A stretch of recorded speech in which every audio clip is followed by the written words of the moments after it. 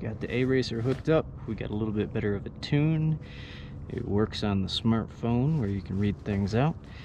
It connects up automatically. Once you've paired it with the Bluetooth device, you literally just turn on the ignition.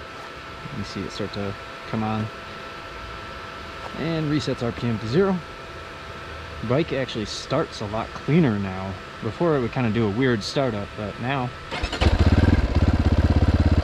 starts nice. And you see the RPMs, blah blah blah, all that stuff.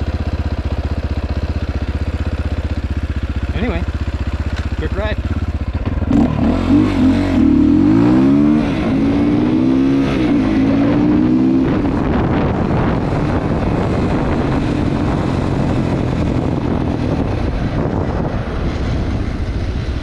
You can hear a little bit of the backfiring as it's slowing down.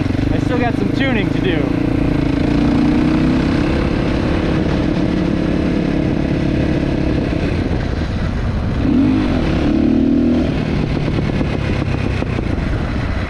Got those little farty bumps.